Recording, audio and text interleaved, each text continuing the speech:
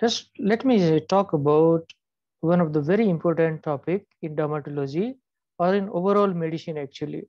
And we have not covered this topic anywhere till now because this specifically belongs to the dermatology field.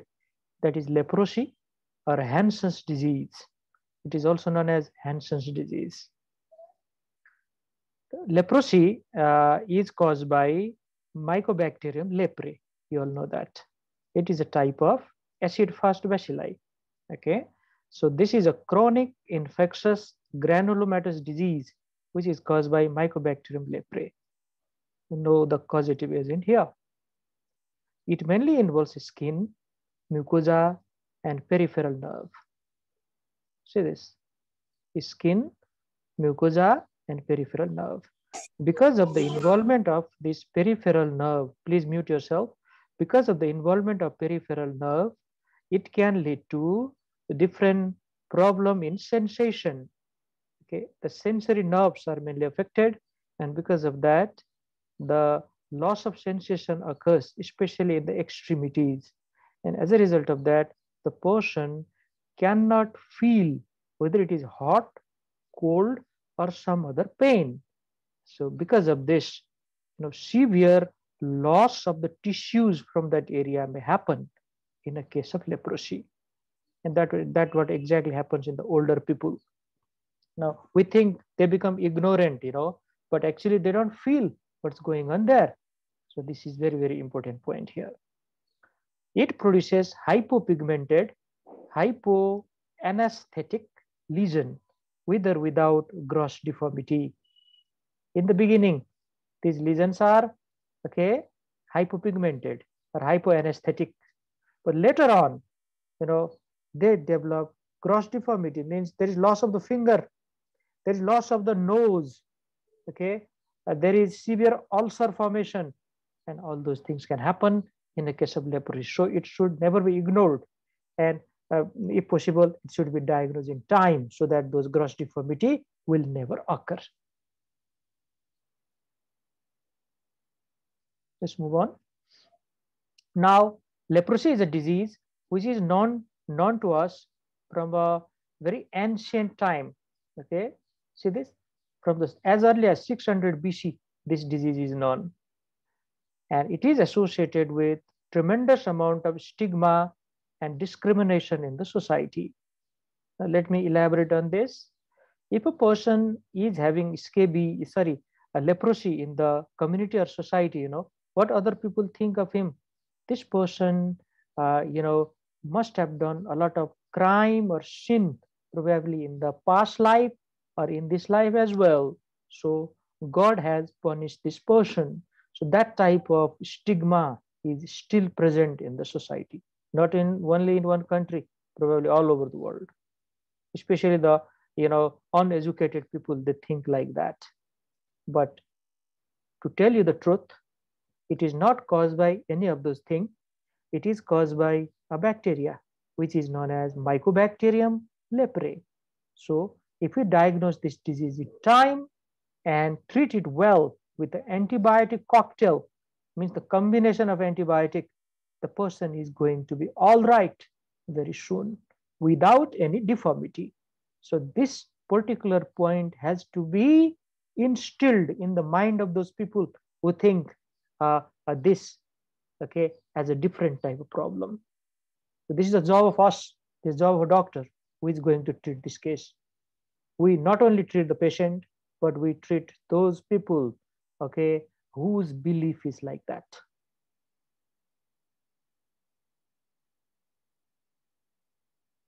Let's move on. Now, what type of organism is this? See here, so this is a bit of microbiology knowledge. This Mycobacterium leprae is acid-fast bacilli. It is aerobic and it is intracellular organism. Intracellular, it cannot uh, grow outside the cell. And because of this important point, okay, this particular bacteria cannot be grown in artificial culture as well. There's no artificial culture media for growth of Mycobacterium leprae. Like Mycobacterium tuberculosis, we, we grow Mycobacterium tuberculosis in which media? Which media? LJ media. LJ media. LJ, Lowenstein Jensen. Excellent. Very good. LJ media, Lowenstein Jensen media, or sometimes even BACTEC system. Okay, those can be used, but nothing like that for Mycobacterium leprae because it is purely intracellular organism. So we use animal models for the culture, like mouse foot pad and nine banded armadillo foot pad of the mouse, or there is one special animal called armadillo. Okay, uh, this armadillo is used for the culture of Mycobacterium leprae. And a little bit more knowledge about armadillo. These are wild animal. They look very small in size and these sometimes are naturally infected with Mycobacterium leprae organism. So coming in contact with this armadillo may transmit the disease to us. But the chance is very rare, you know, but chances are there. Though the chances are less, chances exist. They can transmit leprosy to us. So uh, this is the, a bit of important information here. Now let's uh, look at this picture here. See this? These are acid fast bacilli. Okay, they look a bit pinkish in color uh, when uh, you know we do acid fast stain.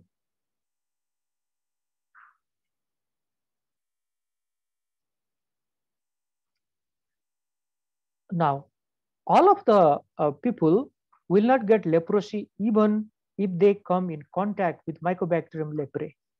Around 95% of the people are naturally immune to leprosy. Then, what is the reason why some of the people develop leprosy? Now, this is explained by, you know, some defective gene in them, and that defective gene is causing decreased cell-mediated immunity. So a bit of a genetic, you know, factor to play the role. Now, regarding the transmission of leprosy, very interesting. Respiratory mode is the number one uh, transmission way or method for leprosy. This is by droplet infection.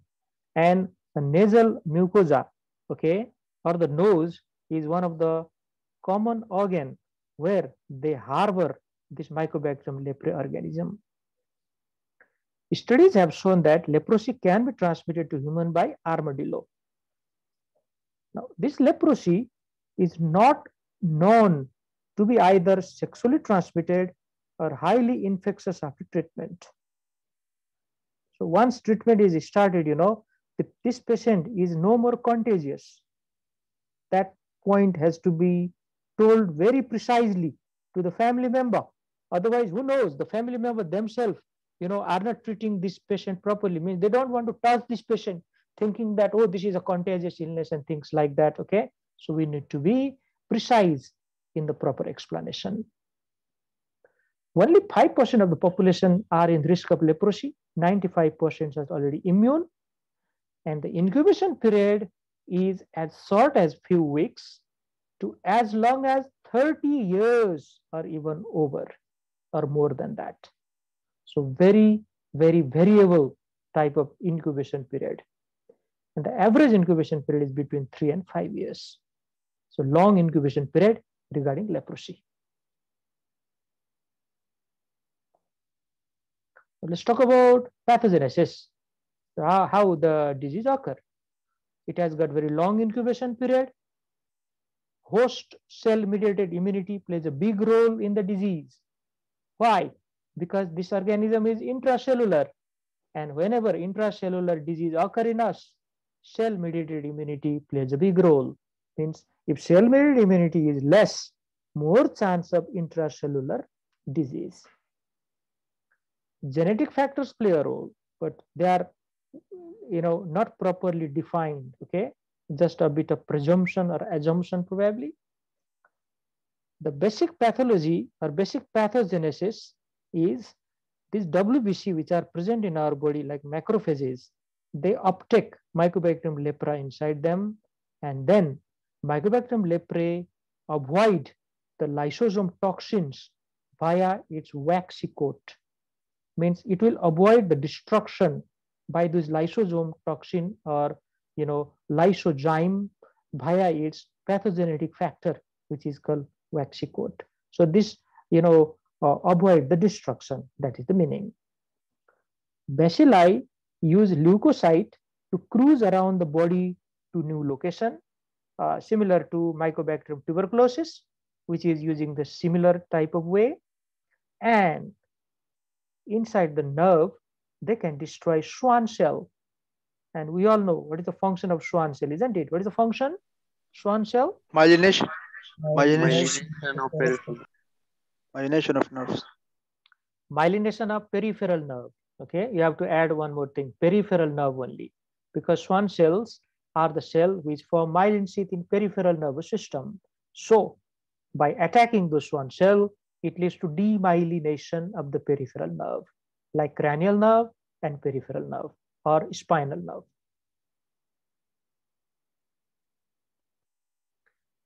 Now, in the beginning itself, I like to clarify this point. For the diagnosis of leprosy, we need these three factors together. Okay, so that the clear concept is there in the student mind. First, presence of skin patches during the examination. See here, presence of skin patches during the examination, which either the patient have complained from their side, so we can take this as a symptom, or we find it out during our examination. And one of the very important point there is there's loss of feeling or loss of sensation on those skin patch. They are anesthetic patch. And that has happened because of damage of the nerves which, you know, uh, innervate that area. Second, enlargement of the nerve. Okay, enlargement of the nerve or thickening of the nerve. This is important one. So we should feel some important nerves there. Now, uh, the nerves which are easily palpable during this uh, time are ulnar nerve. Okay, ulnar nerve, common peroneal nerve, common peroneal nerve, and great auricular nerve. Great auricular nerve. Now, a little bit information about this. Okay, though uh, later on also I'll I'll explain about it. Now, where is ulnar nerve present? I mean, where where can we feel ulnar nerve very easily? Yes. Uh, elbow joint. Very good. So which which Medial, medial side. Medial. Medial Medial. epicondyle. Medial epicondyle. Middle epicondyle. very good. So elbow joint, very good. So uh, medial epicondyle of the elbow. So back side of medial epicondyle of the elbow, there is the ulnar nerve present. And we can even feel it, you know, in a normal people, this ulnar nerve can be rolled there. And if we feel ulnar nerve a little bit, you know, or tightly, then you can feel tingling and numbness sensation on the ulnar aspect of your hand. So you know ulnar nerve is right there. In case of leprosy, this ulnar nerve is thick. Very important point. Now, where is common peroneal nerve then? Where? Fibula around the fibula. Neck of fibula. around, around the neck of the fibula. Neck of Excellent. fibula. Excellent. Around the neck of the fibula. Very good. So you just roll your finger there and you can feel it easily when it is thick. Okay, this is common peroneal nerve. And great auricular nerve is behind the ear on the upper part of the neck. Behind the ear on the upper part of the neck on the lateral side. Great auricular nerve. It can also be easily felt. Third point here is presence of Mycobacterium leprae on skin smear. So you have to take this slit skin smear, okay? You have to cut a piece of skin there and send to the microbiology lab, okay? Then they will uh, give you the report. Yes, acid fast bacilli is seen there, which looks like Mycobacterium leprae. Then you got the diagnosis of leprosy. So these three things are very important for the diagnostic purpose. Two of them are examination, one is investigation. Now let's classify leprosy. another important part of this lecture, classification, very commonly asked in the exam. Okay, now this classification systems here, one is done by WHO, World Health Organization classification. It roughly say paucibacillary and multibacillary. Pauci means very few number of organisms are present on the uh, skin or on that uh, slit skin smear and multibacillary means abundant number of bacilli are present. Ridley-Jopling is another very well-known classification of leprosy. According to this classification, uh, roughly it is divided into three types first. Okay, they are tuberculoid, lepromatous, and borderline. Again, borderline is divided into two uh, other types. Okay, borderline tuberculoid and borderline lepromatous. So altogether, we have five, uh, you know, uh, names there, like tuberculoid, borderline tuberculoid, borderline, borderline lepromatous, and lepromatous. We are going to talk about that. This is Ridley-Jopling classification. And immunological classification is about whether cell-mediated immunity is intact or not. If it is still there, okay, or good enough, and on top of that, if leprosy has happened, then probably this is a case of tuberculoid leprosy. Whereas if cell-mediated immunity is very low, and if leprosy has occurred in the patient, most probably this is lepromatous type of leprosy, the most severe type.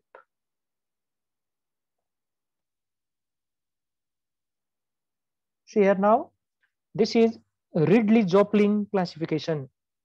Ridley-Jopling classification. And uh, indeterminate means, you know, very suspicious type of lesion. So this suspicious lesion may be present by some other conditions also, or we cannot pinpoint which type of lepromatous, you know, disease is this. Determinate means this is a definite type of leprosy. Now again, they divide into tuberculoid, borderline, or lepromatous, and this borderline is again borderline tuberculoid, borderline, borderline, or you can only see, let's say borderline here, and borderline lepromatous. So let's combine all these together. Tuberculoid is one, borderline tuberculoid second, borderline, borderline or borderline third, borderline lepromatous fourth, and lepromatous leprosy fifth. Now, if I go towards this side, tuberculoid side, it is less severe one. When I go towards lepromatous side, it is most severe one. And this is right in the middle. Now, what do you mean by this indeterminate leprosy? What is the meaning of this term? See here. This is common in facial area. It is more common in children. And these macule which are present there are ill-defined with or without nerve thickening. With or without nerve thickening. If they occur without nerve thickening, then we confuse whether this is a case of leprosy or not. That's why indeterminate type. They may have hypopigmented patch or erythematous patch. Hypopigmented means, you know, it looks whitish. There's loss of pigmentation. Erythematous means it looks red. And it may be hypoesthetic or normoaesthetic. Okay. Now, normoaesthetic means, you know, it, it has normal feeling, normal type of sensation. Hypo means decreased feeling. That's why it is confusing, you know. That's why it is uh, termed as indeterminate leprosy. So best way to diagnose it is take a smear from there. Take a slit skin smear, send to the lab. If the report, yes, there are presence of microorganisms there, then your diagnosis is, is, is confirmed. Then we do not call it indeterminate leprosy anymore. This will go towards the determinate type.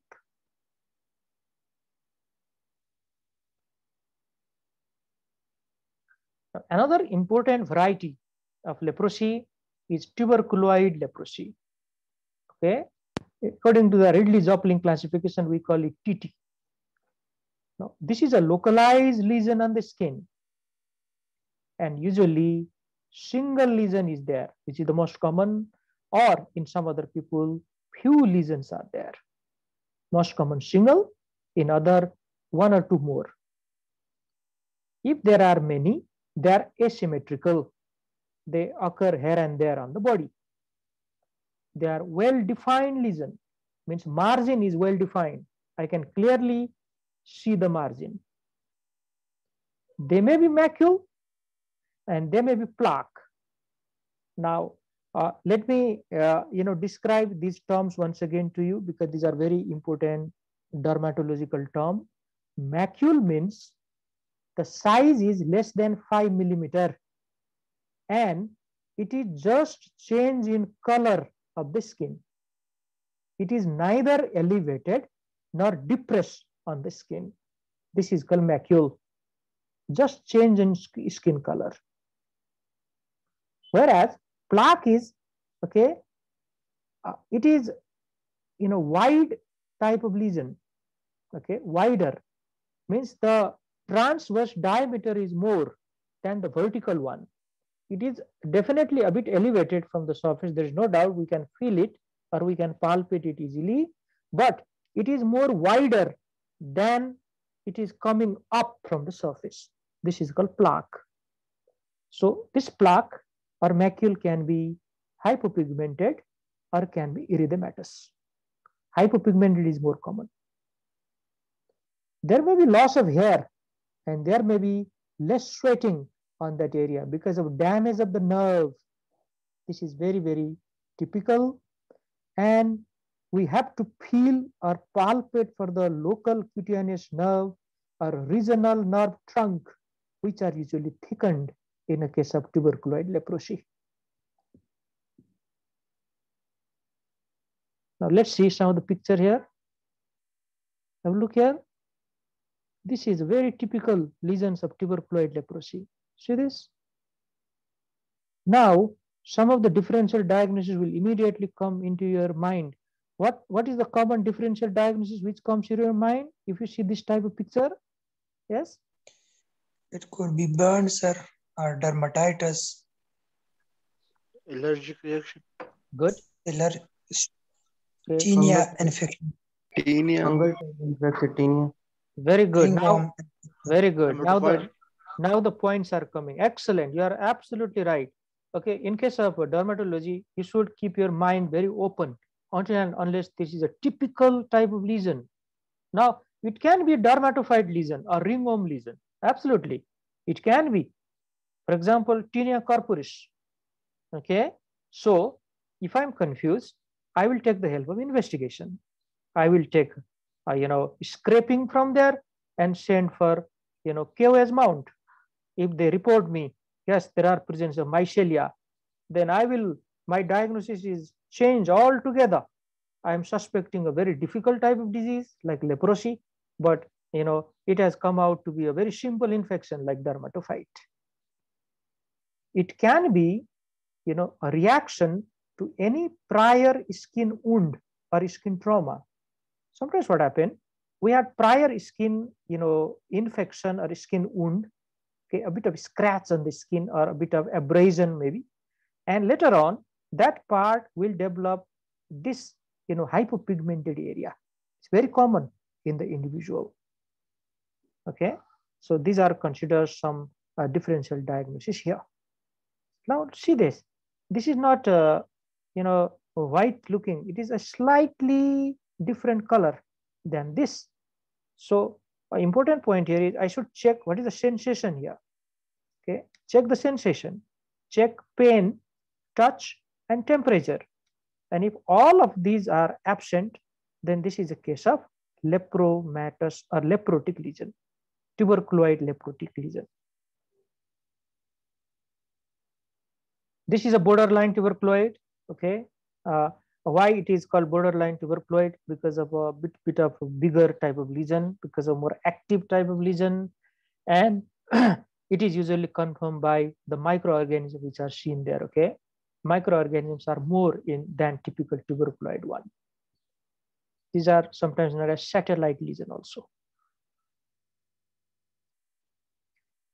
Now, let's talk about the most severe type of leprosy, which is known as lepromatous leprosy. This is considered as a systemic disease in itself. Systemic disease. Because multiple systems and organs are involved here. Regarding the face, it will lead to diffuse infiltration of the face. There may be supraciliary madarosis. Now, what do you mean by this madarosis? Anyone? What is madarosis? This may be a new term for you. So supraciliary. Now, this supraciliary madarosis means loss of eyebrow.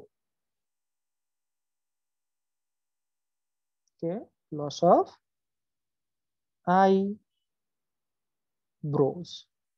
So, uh, ciliary term we use for the eyelashes.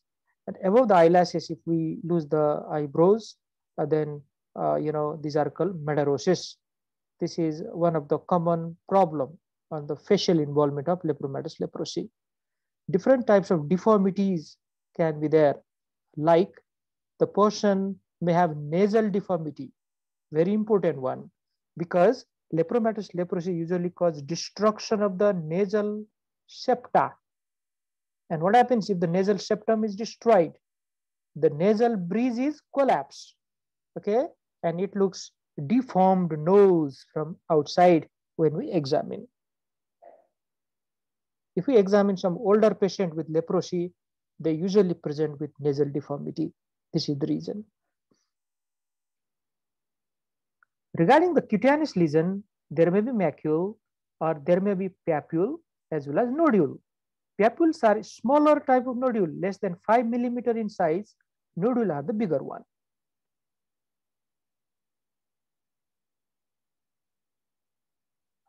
Now, what happens to the nerve now? Look here. Okay, regarding the nerve, they are symmetrically involved in this condition. Whereas in tuberculoid leprosy, they are asymmetrically involved, but here they are symmetrically involved. They have thickened, they are tender, and they have glove and stocking type of anesthesia. Now, what do you mean by this term, glove and stocking anesthesia? What is this? Sir, not Extreme the sensation, peripheral part of the My- body in the extremities. Exactly, exactly. The peripheral part of our limbs or the distal part of our limbs are affected, just like you know, uh, you know, the the area where we wear the glove and stocking. Okay, stocking in case of female and glove, uh, you know, in both sexes where we wear that. That part is losing sensation. That is called glove and stocking type of anesthesia. In other words, hands and feet are usually involved because peripheral neuropathy usually you know start from the distal part and slowly goes up regarding the systemic involvement lymphadenopathy hepatosplenomegaly eye lesion and even testicular atrophy may occur uh, because of lepromatous leprosy as a result of that it is considered uh, you know systemic type of disease that is the reason. Whereas tuberculoid leprosy uh, is not involving all these things, you know. So this is a localized or a regional type of infection.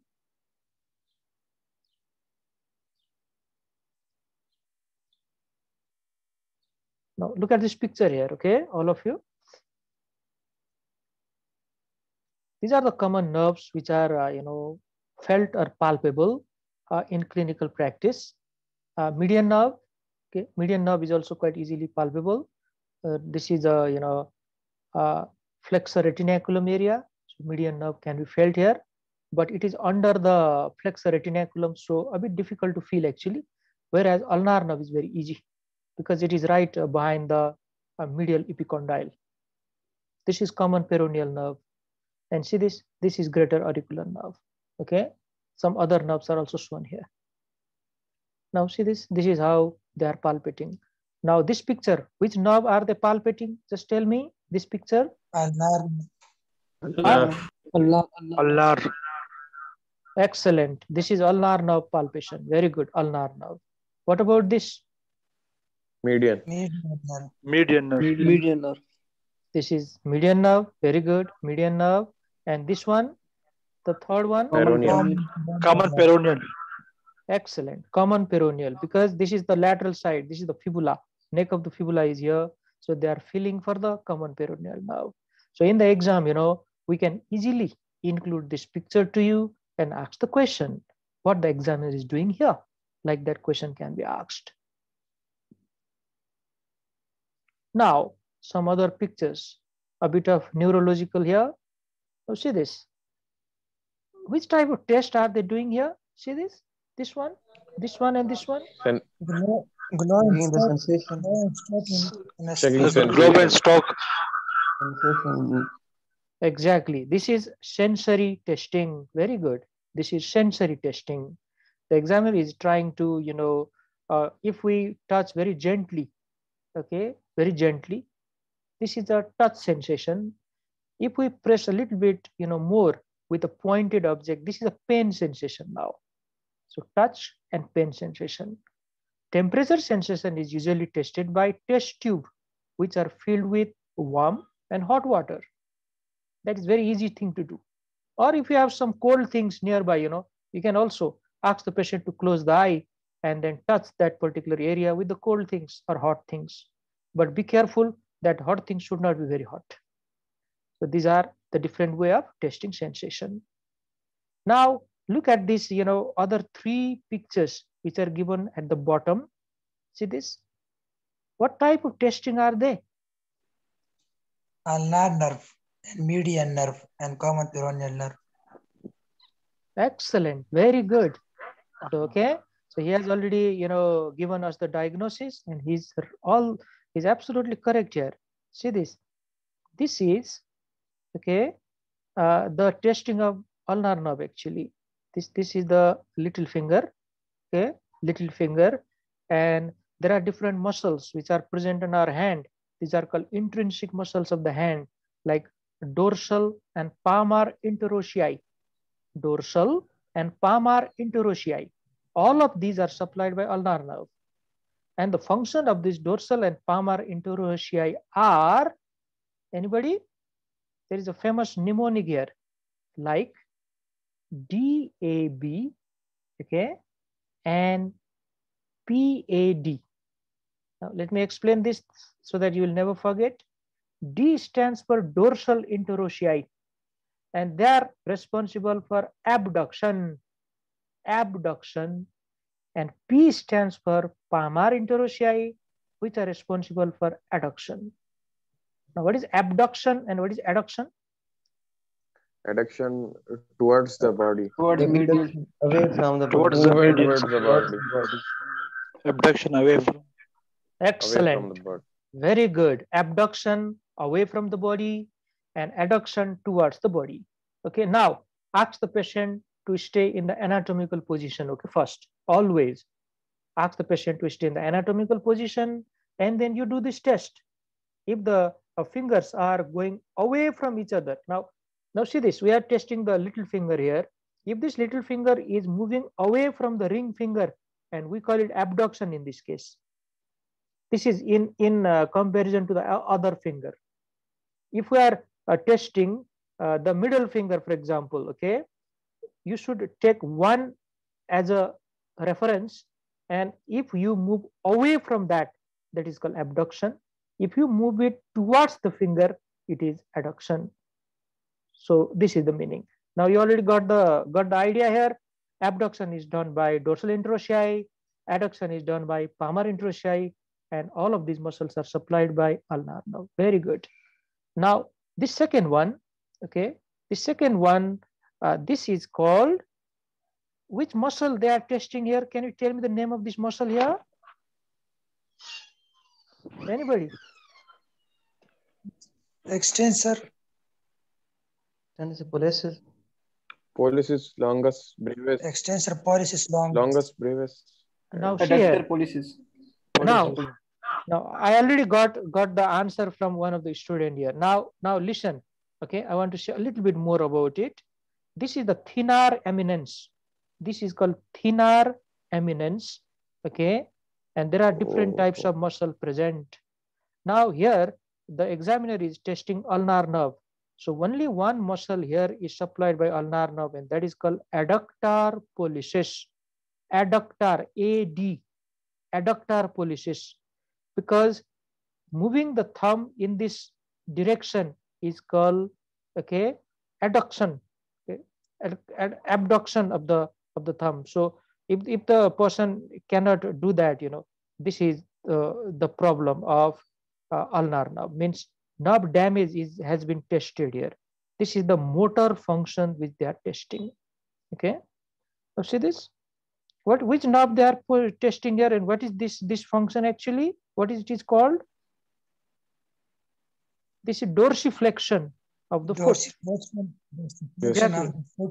Yes, this is dorsiflexion, and dorsiflexion of the foot is the function of common peroneal nerve. Common peroneal nerve. If common peroneal nerve is damaged, a dorsiflexion cannot occur. Okay, so the examiner is uh, applying some of the force and then asking the patient uh, to do it against the force.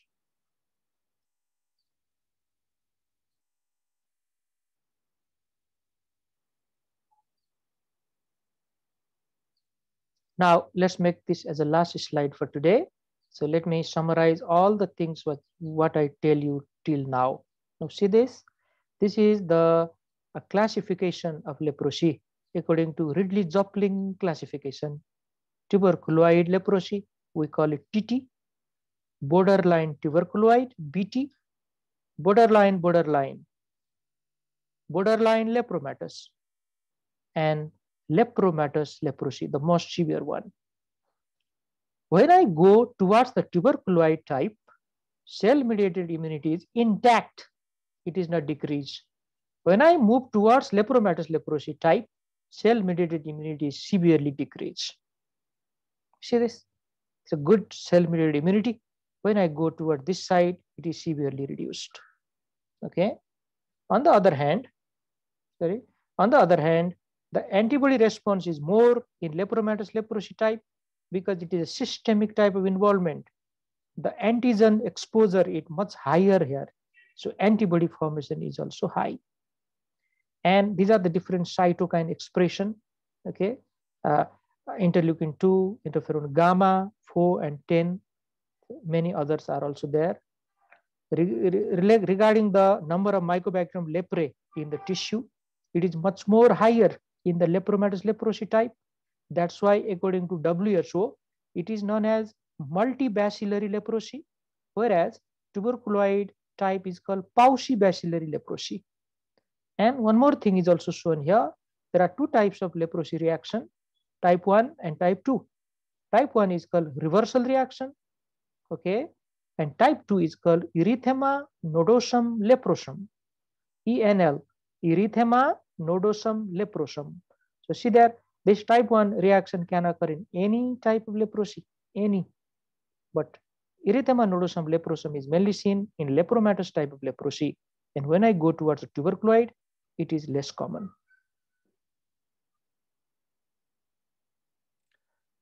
Now let's talk about a lepra reaction. What do you mean by them? Now these lepra reactions are acute on chronic reaction means leprosy is a chronic disease. We all know that. So on top of that chronic disorder some acute episodes of clinical inflammation occur time and again and this is known as lepra reaction.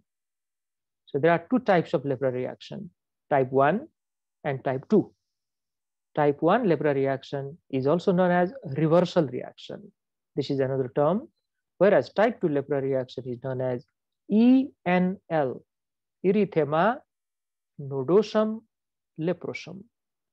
Okay, because of the typical appearance, the name is given, erythema nodosum leprosum. Now, this lepra reaction, they signify changes in the immunity of the patient. Sometimes the immunity is getting weaker, sometimes a little bit, you know, better than before. These are the different points. And they increase morbidity due to nerve damage even after the completion of treatment. They can occur anytime, these lepra reaction, especially type 1.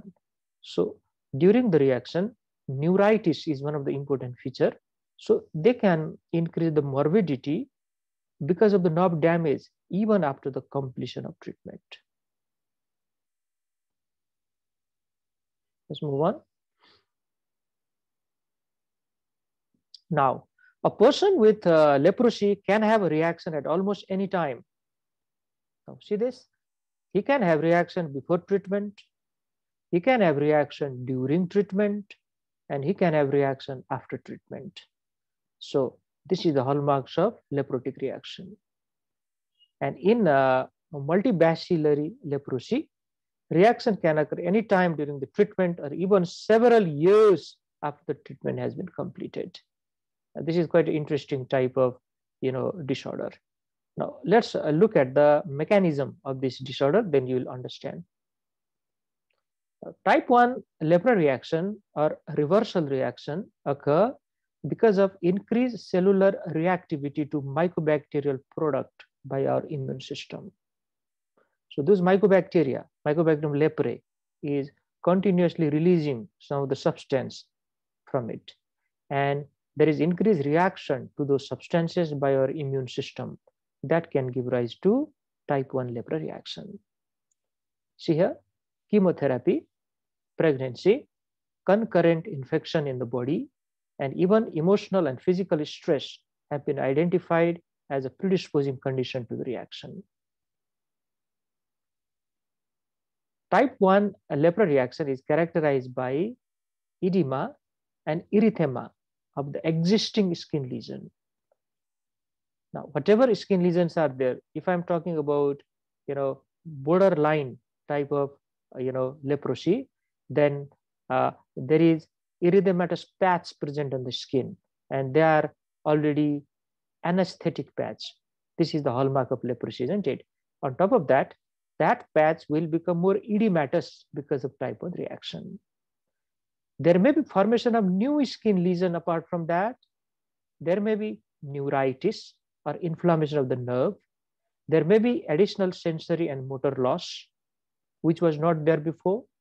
And there may be edema of the hands and feet or even the face, okay, in this disorder. But systemic symptoms are uncommon. Like there will be no fever, okay?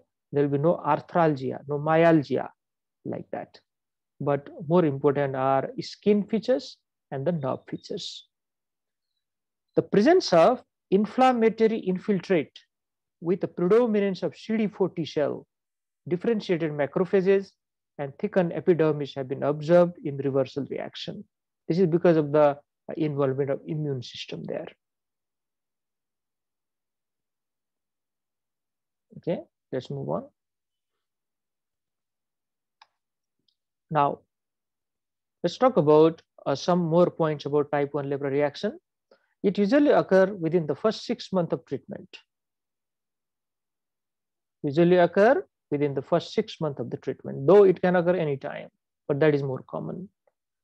Most commonly occur in borderline patient, but also in borderline tuberculoid and borderline lepromatous. So just remember borderline, all, all three are different types of borderline leprosy, isn't it? This is borderline tuberculoid BT, this is borderline borderline, and this is borderline lepromatous and it is one of the major cause of nerve damage in a patient of leprosy. So this is type 1 lepra reaction. Now, during examination, what are we going to see or what are we going to find in the patient? What are the signs of type 1 lepra reaction? In the skin, there are inflamed skin patches. If they are already there, okay, for example, if there is a you know hypopigmented patch on the skin, now that hypopigmented patch will become inflamed, so it looks red.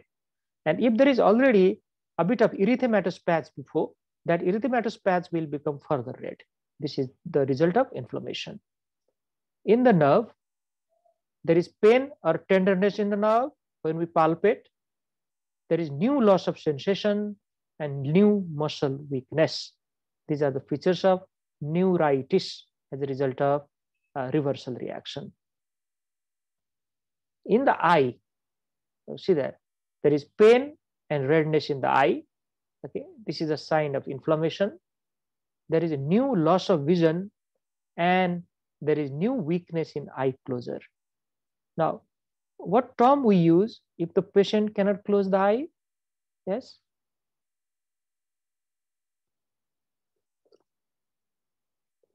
Anybody?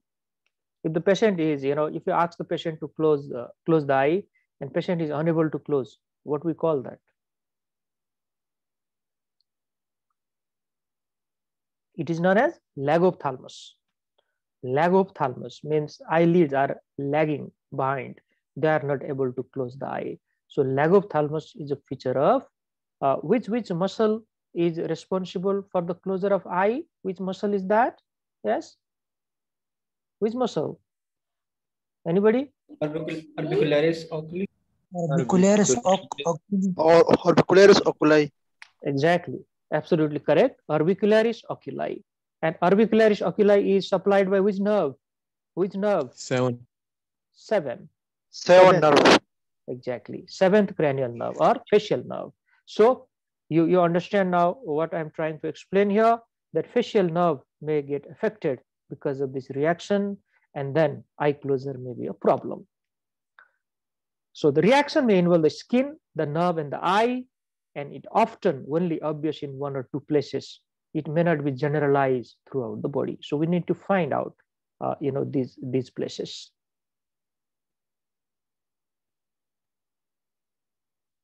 look at this picture here. Okay. See here? This is swollen hand. Dorsum of the hands are swollen here. This is one of the feature. And look at these lesions here. These lesions may be there before or these lesions may be the new one and if they are already there before there is extra inflammation there and if these are the new one okay of course they will in, uh, appear there with the inflammation. And this is even uh, typical.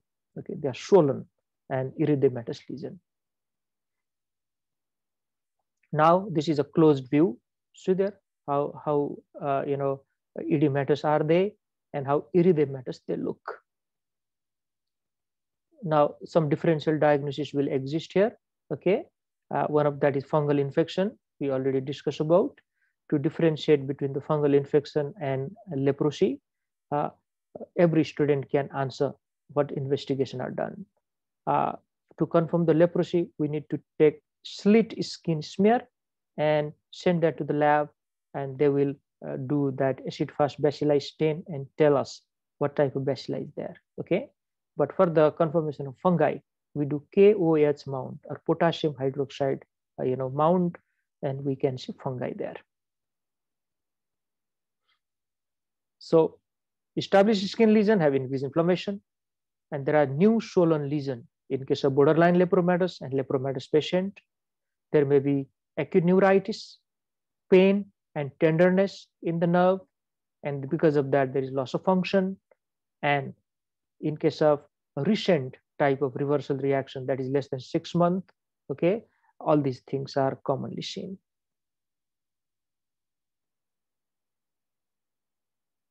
Now, these are the nerve which we uh, routinely examine in a case of leprotic patient. Yesterday also I showed this picture.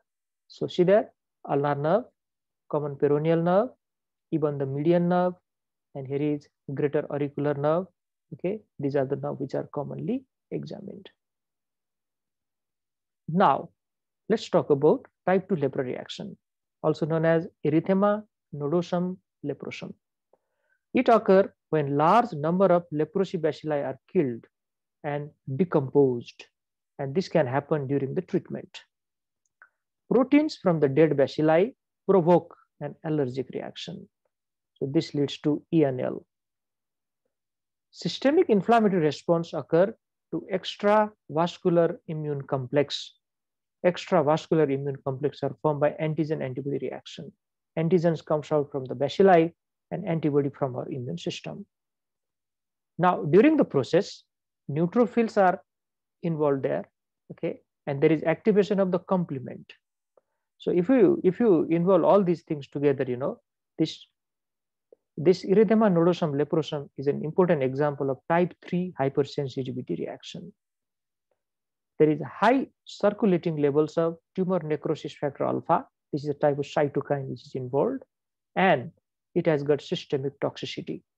It is more common in lepromatous leprosy, which is already a systemic disease.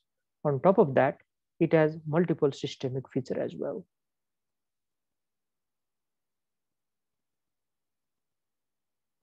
Let's move on. Now, what are the signs of a reaction in erythema nodosum leprosum? See here. More commonly seen in severe type of leprosy, like borderline lepromatous and lepromatous patient. It is associated with regular use of clofazimine in okay multiple drug therapy. This multiple drug therapy is the term we use for treatment of tuberculosis and leprosy because we don't use only one drug, you know, we use the combination of therapy. So clofazimine is one of the anti-leprotic drug and uh, this uh, lepra reaction is associated with the regular use of it. It may develop at any stage of the therapy, usually uh, within the first year. Okay, so it's another important point, and it is often recurrent type of reaction. So recur again and again. So the common features of erythema nodosum leprosum are fever and malaise are quite common because this is a extensive inflammation going on, type 3 hypersensitivity reaction going on. The painful erythematous nodules present typically over the extensor surface of the limb. Remember the term nodosum, okay? Erythema nodosum. So there are erythematous nodule present mainly on the extensor surface of the limb. These nodules may become widespread and they may develop into pustule and even ulcerate later on. So pus formation, they may fill with pus and they may ulcerate as well. At the same time, neuritis or inflammation of the nerve would develop and these are the painful condition and uh, when they complicate they may develop into nerve abscess as well. So this is a bit more complicated situation than reversal reaction.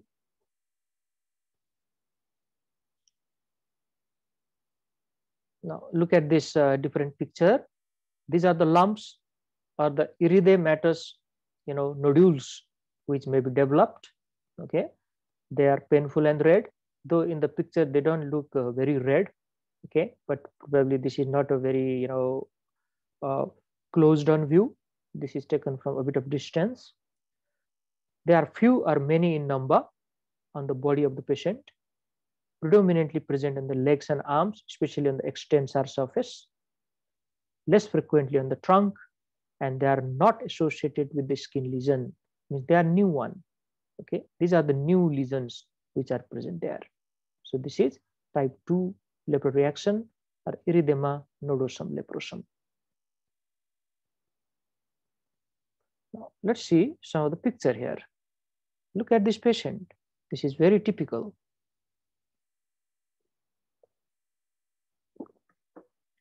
See here, these are the nodules, erythematous nodules. Some are ulcerated as well. Okay, though uh, more common on the extensor surface of the body, but they can be found on the trunk. They're less common on the trunk, but we have not said, you know, it is not found there. Okay. So this is the involvement of the eye. See this. Now, uh, this is called cornea. So let me uh, take this opportunity to tell something about the eye also. Uh, this is cornea. You all can see. Okay. This is called limbus. Limbus. Here is cornea. This is pupil right at the center. Pupil. Okay. And this is called sclera. Sclera. This white part uh, conjunctiva are of different types. This is eyelid.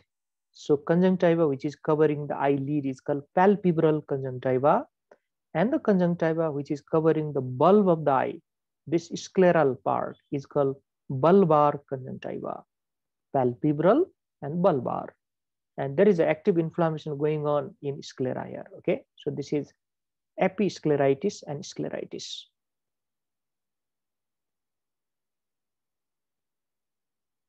Now, now see there, these are the some other signs of lepra reaction, especially type 2 lepra reaction, that is erythema nodosum leprosum. It has got feature of widespread immune complex deposition. That is a hallmark of type 3 hypersensitivity reaction, like small vessel vasculitis, iridocyclitis. Iridocyclitis is a inflammation of iris, okay, and the ciliary body. Polyarthritis, inflammation of multiple joints. Orchitis. What is orchitis? Inflammation of Inflammation of testes. Excellent. Inflammation of testes. Okay. Orchitis is inflammation of testes in male. Lymphadenitis, lymph node enlargement. And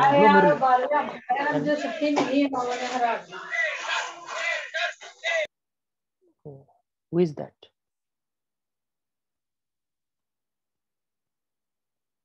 Now she has disturbed all of us. Okay, fine. So glomerulonephritis is another one, uh, which is the inflammation of glomeruli there. So these all are the different types of you know manifestation caused by deposition of immune complex. Let's move on. Now we have gone through type 1 reaction and type 2 reaction. So let's talk about some of the differences between them. Regarding the uh, you know inflammation in type 1 reaction, see there, the leprotic patch may be already there or there may be you know appearance of the new patches in type 1 both things may be there okay the leprosy patches are inflamed but the rest of the skin is normal in type 1 though the new patches appear you know only problem occurs in the patches the rest of the skin will be fine. In type 2 reaction there will be appearance of the new red lump or you can say nodule. New red nodule and these are tender. Okay these are tender and they are not associated with the leprosy patches. Means they are very new one. They do not occur in the same area where already there are patches. This is a very important difference between the type 1 and type 2 regarding the general condition of the patient it is quite good in type 1 because it is not a systemic type of illness. Whereas in type 2 it is poor. And on top of that type 2 more commonly occur in severe type of leprosy where the patient's condition is already a bit poor regarding the timing it usually occur early on the course of multi-drug therapy. People with both paucibacillary and multibacillary leprosy can develop it. Okay? Having said that it is again more common in multibacillary leprosy. Like borderline type of leprosy are more more commonly having uh, reversal reaction. And type 2 only occur in multibacillary leprosy. There is no chance of paucibacillary leprosy with developing it and usually occur later in the course. Regarding the eye involvement in type 1 there is weakness of eyelid closure because of the nerve involvement. Lagophthalmos may be there whereas in type 2 even internal eye disease is possible uh, along with weakness of the eyelid closure like scleritis episcleritis or even iridocyclitis so these are some of the important uh, differences now we are coming towards the end of this topic what are the uh, common complications of Hansen's disease or leprosy? So one type of complication is due to Hansen's disease per se, means because of the Hansen's disease itself, complications are there. And these are loss of sensation. And if loss of sensation occurs in the foot area, remember there may be chances of development of ulcer. And those ulcers are very difficult to heal. Due to reactions, complications can be there. Type 1 lepra reaction, type 2 lepra reaction. There is further damage to the nerve. There is uh, you know, appearance of the motor symptom now, weakness, okay? Neuritis, nerve abscess, different other problem. Due to anti leprotic drug. Side effects may be there. Okay. And then due to drugs used in the reaction treatment, we, we often use corticosteroid for the treatment of this reaction. Uh, we, we can use thalidomide for the you know uh, treatment of reaction. So they, they, this drug can have some of the side effects. So this is how the complications can be listed. Now, all of you, please focus here uh, on the on the picture. What can you see here?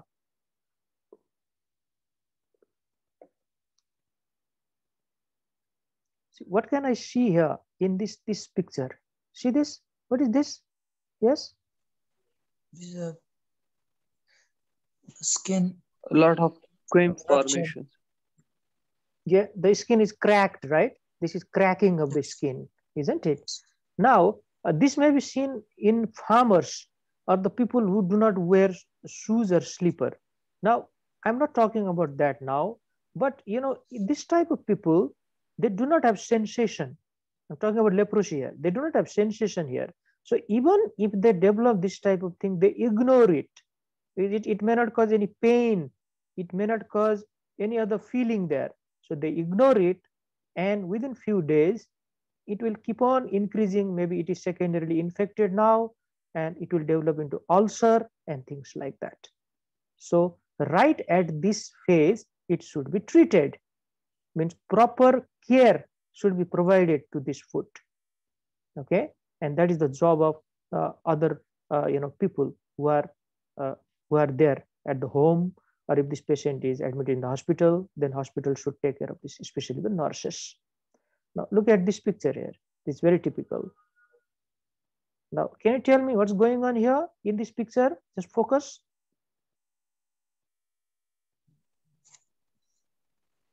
Lagophthalmos. The patient, the patient is closed one eye, but the other eye cannot be closed. Unilateral facial nerve paralysis. Unilateral. Good. Okay. Somebody told me lagophthalmos. Good. This is called lagophthalmos. Yes, I agree. But uh, rather, uh, you know, along with lagophthalmos, uh, look at this uh, deviation of the angle of the mouth. See here? Look at this deviation. It is deviated towards this side. See, a little bit upward. And here it is drooping downward. Drooping downward. And this is called nasolabial fold. I can see nasolabial fold here, but there is no nasolabial fold I can see on this side. A person cannot close the eye on this side, but person is closing the eye nicely on this side. So which part of the face is paralyzed? Which part? Right. Right Right side side of of the patient. Very good. This is the right side. Excellent. Right side. Okay. This is right side. It is paralyzed. I'm very happy. So this this type of you know diagnosis you have to do when we show this type of picture now because we have done everything before. Excellent. So this may be one of the complications of leprosy, either by the disease itself or because of the reaction uh, during the treatment. Uh, so this uh, these things can be there. Very good. Facial nerve paralysis on the right side. Now see there, this is a small ulcer which is about to form. And this, if, if, if this is not uh, taken care of, you know, this will keep on increasing and even the bone which is underlying it can be affected. So even osteomyelitis can be there uh, because of this type of problem if they are ignored. And look at this, uh, this area, already a rounded type of ulcer is formed. And one important term is given for this type of ulcer. They are known as neuropathic ulcer. Neuropathic ulcer. So see the neuropathic ulcer means they are developed because of the nerve damage or destruction and they are very difficult to treat.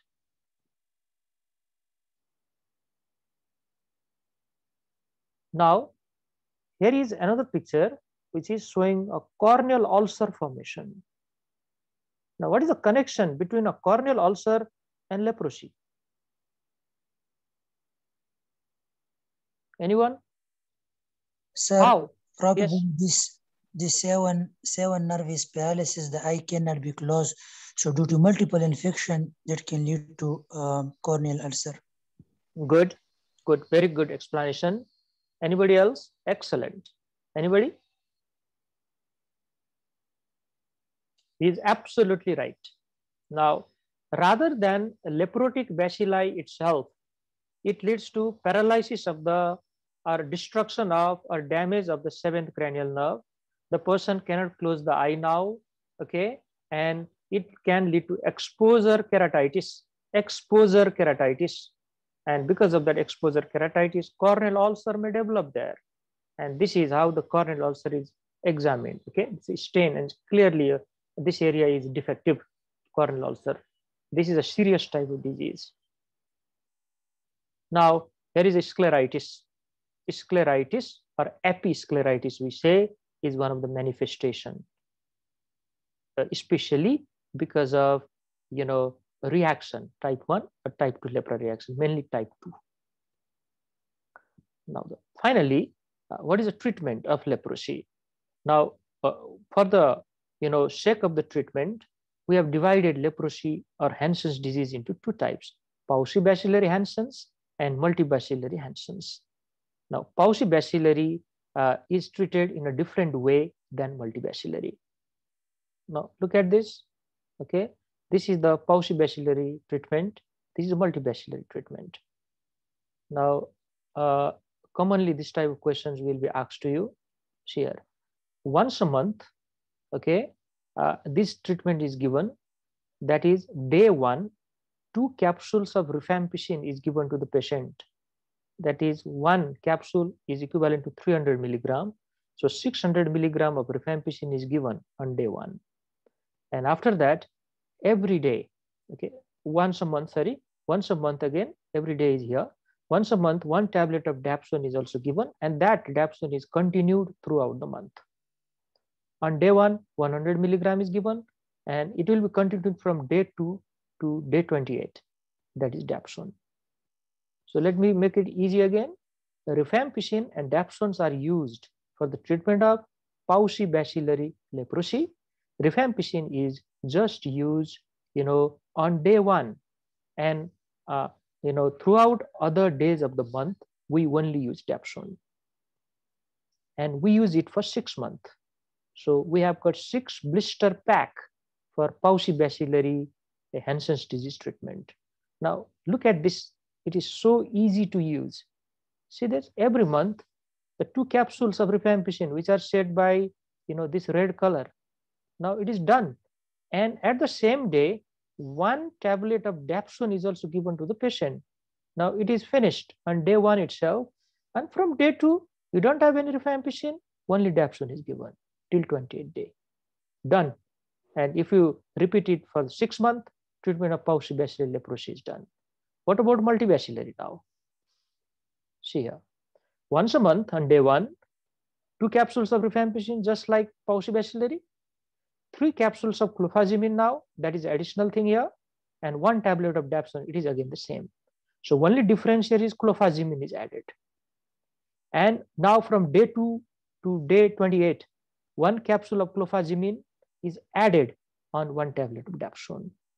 And it is given for 12 month, means 12 blister pack are given. So very easy if you look at this blister pack. This white is dapsone, okay? These two are rifampicin. The upper three are clofazimine. So they are given in day one. And after that, see this, uh, clofazimine every day and dapsone every day for 28 days. And we repeat this for 12 months. So this is the treatment of multibacillary leprosy. Now, how these reactions are treated then? Okay, how this reversal reaction or uh, erythema nodosum leprosum are treated. For paucibacillary patient, the standard treatment is as follows for the reversal reaction. We give prednisolone, this is a corticosteroid, and this prednisolone is given in the tapering dose. You can notice here in one to two, in the first one to two week, 40 milligram, third to fourth week, 30, then gradually decrease up to 5 milligram when we reaches 11 and 12 week, then it is stopped. Then it is stopped. And you all know why we are decreasing the dose. Why, why, why is this necessary? Why to decrease the dose and stop? Because it will cause uh, the reaction if we sudden stop it, the adrenal crisis will develop. The person will quit. The HPA axis will be depressed. Because Very good. not secrete Very good. So you still remember from our endocrine discussion. Excellent. Very good uh, reason you have given. See this, this prednisolone, which you have given from outside is suppressing HPA axis. And it takes time for the recovery of that HPA axis. That's why we need to gradually taper the dose and stop. I cannot stop it suddenly when the dose is too high. Okay, patient uh, will develop uh, acute adrenal crisis. For multibacillary patient, the standard treatment is as follows, similar, prednisolone, okay, but uh, it is uh, given for a longer time.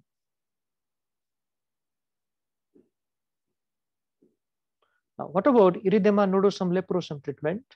It is treated with the help of corticosteroid.